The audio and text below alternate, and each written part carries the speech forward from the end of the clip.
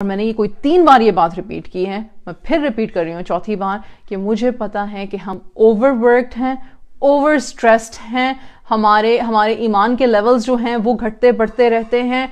हम अपनी ही सोच की कैदों में अपने लिए हमने बहुत सारी एंगजाइटीज डेवलप की हुई हैं।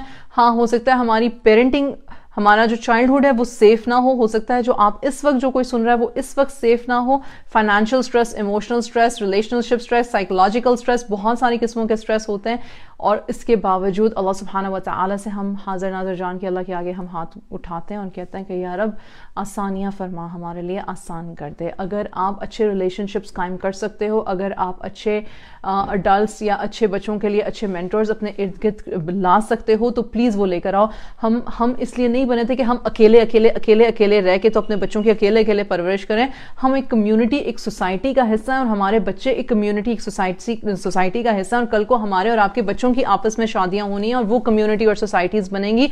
तो अगर हम एज पेरेंट्स आज ये सारे स्टेप्स लेंगे जहाँ पे हम अपने इमोशनल और अपने बॉडी uh, बजट्स का ख्याल रखेंगे जहाँ पे हम स्ट्रॉन्ग रिलेशनशिप कायम करेंगे। बावजूद इसके कि हमें जैसे मर्ज़ी स्ट्रेसेस हैं उनको उनके साथ फाइट करते हुए या समझते हुए या अपने अपने नॉलेज में इजाफा करते हुए अपने बच्चों को सेफ़ चाइल्डहुड देने की कोशिश करेंगे। देखें इसका मतलब ये नहीं कि उनकी ज़िंदगी में कोई मुश्किल नहीं आएगी। या वो हमेशा हमसे राज़ी रहेंगे या वो हमसे खुश रहेंगे। That is not good parenting good parenting is understanding understanding and creating resonating and uh, creating a, a, a, better response to